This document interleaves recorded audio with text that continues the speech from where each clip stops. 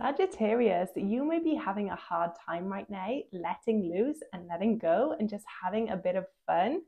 So you might be finding it hard to, you know, just get that enjoyment out of life right now. Or you might even be finding that you're feeling guilty or unproductive if you just allow yourself a little bit of fun. But that is not about a balanced life. And when it comes to having time off, celebration of our achievements, and the socialization, it's really, really important to incorporate that as well because we have to have that balance of work and play. Because if we're all work with no fun, it's going to be really hard for us to recharge our battery, recharge our energy, so that we can replenish our social and our creativeness, right? And when we have that, we're actually able to work and perform better.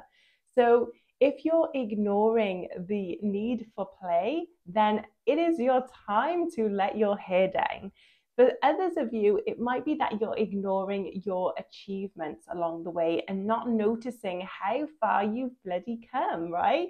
So we might be feeling undeserving of praise, or we might still feel that our big goal is far away.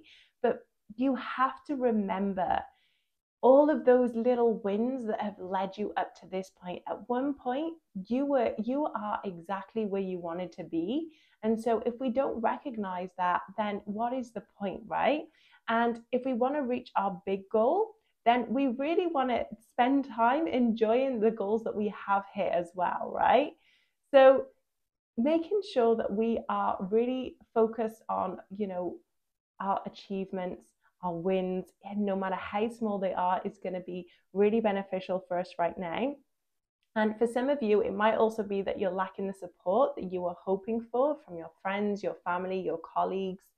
So if if they're not noticing our successes, it may be that you know they're not the people that we should look to for encouragement. And we might need to evaluate, you know, and really see our plans to see if there is any good reason for this lack of support.